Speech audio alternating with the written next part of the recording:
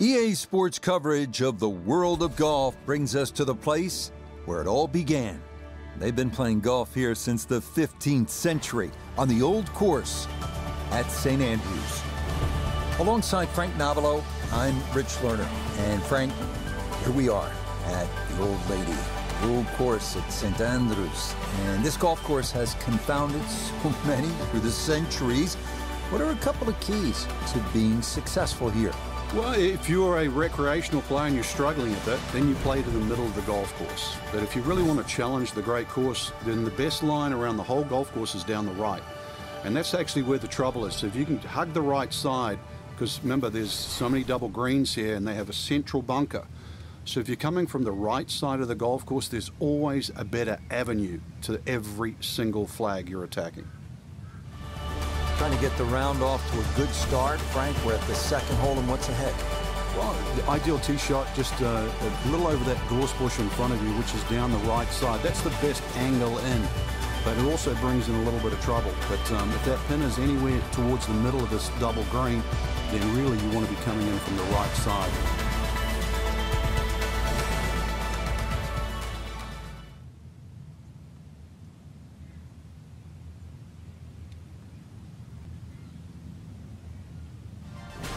Next here at St. Andrews, the 370-yard par 4 third. Best to drive it left, left center to avoid a cluster of bunkers down the right side of the fairway. The real challenge comes on the approach with Cartgate Bunker coming into play.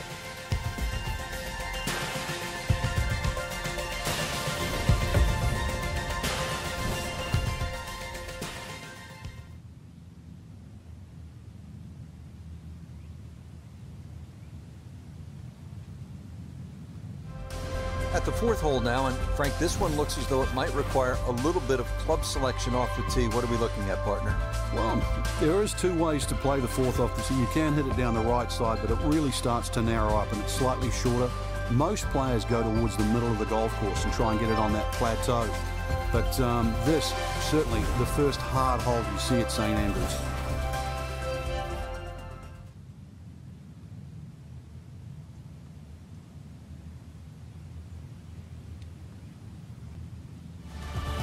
We come now to the fifth, the first par five on the front side here at St. Andrews. 514 yard hole that ends at a green that is 100 yards deep. Avoid the Seven Sisters bunkers off the tee, and reaching into is a possibility if the weather cooperates.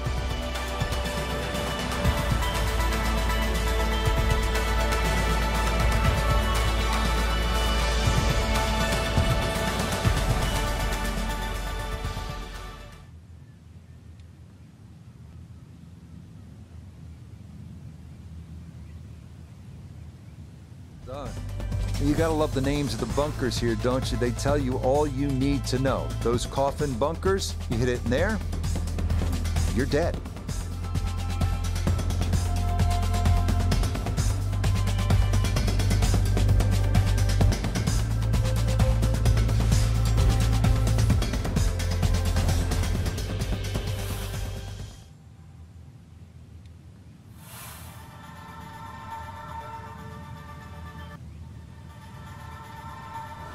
Heading now to the 359 yard par 4 7.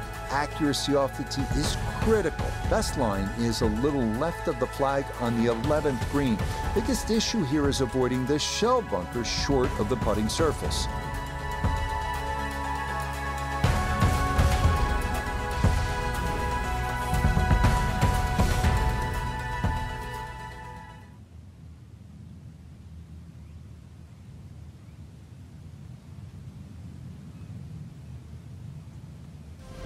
Standing on the tee at the par 3 8 here at the old course. And Frank, what are we looking at here? One of the biggest greens on the golf course. Um, it looks flat, it looks like it's easy, but once that flag gets on the left side, this is when the, the hole becomes a little bit more difficult. It's very easy to take this hole for granted. Um, very hard to hit it close, though.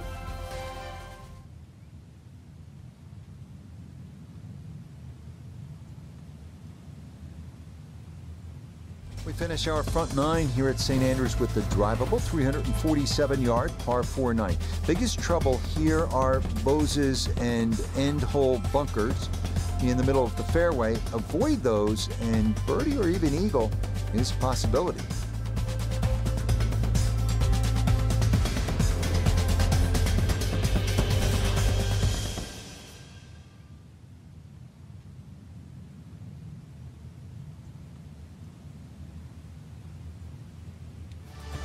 Starting off the backside here at St. Andrews with the 340-yard par 4 10th, named in honor of the great Bobby Jones, 1927 Open champion and 1930 amateur champion.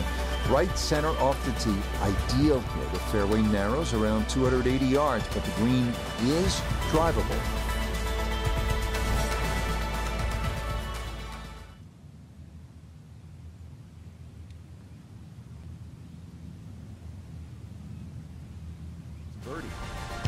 Hole number 11, the Eden, is really the finest medium-length one-shotter in all of golf, isn't it, Frank? Well, this hole's been copied uh, by many an architect. The reason why is it's normally very, very difficult to make a hole of this length, or should I say this short, so difficult. But uh, they've managed to do that here at Eden with that Strath bunker in the front and the severe sloping on either side of that bunker. Boy, that can really be brutal, can it? It certainly does. And um, if you have any doubt there, it'll you'll come unstuck at 11. Frank, how do you like the 12th hole here at St. Andrews? Well, it's a beautiful par four. You start to see the uh, the village of St. Andrews in the background, Eden Estuary to the right, and also decision time. If you're long enough, it's certainly worth having a crack at this par four with your tee shot. But if you're not a long hitter, then you've really got to worry about those four beautifully and well strategic uh, positioned bunkers in the middle of the fairway.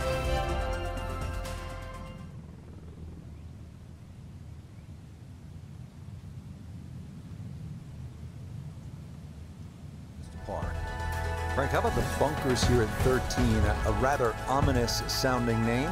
Yeah, the coffins, and uh, they are that for a reason. If you finish up in there, well, the best you'll probably ever do is make a bogey, unless you're an absolute genius. Uh, that'll be avoided certainly off the tee.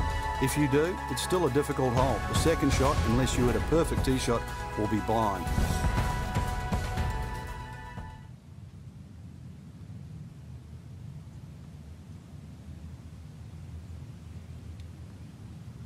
That in for a par. You know a course is old when instead of white out-of-bounds sticks, they have an out-of-bounds wall, and that's on the right. So most players are taking it down that left side. That landing area, and this again how you know a course is old and has all these wonderful little names, it's known as the Elysian Fields.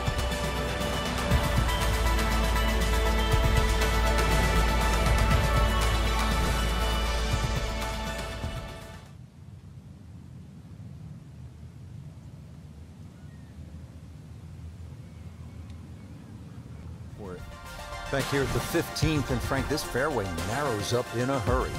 And it's also, uh, it, there's a big crop of heather that sort of constrains you if you're going to hit it just straight down the middle.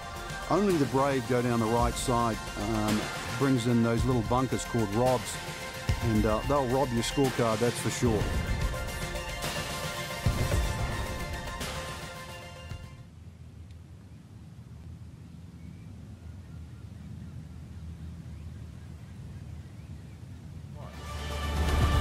16th hole, famous for the principal's nose, and I can't help but think that Mrs. Hartman, fourth grade, well, I don't know she how, didn't like us. I don't know how Mrs. Hartman would have played this hole, but uh, she would have been wary of the out of bounds on the right. And that's why the, uh, the, the, general consensus is, is you uh, not only avoid the principal's nose, but you hit the tee shot a, a, little bit further left. It might lengthen the hole, but it is certainly uh, the more prudent strategy.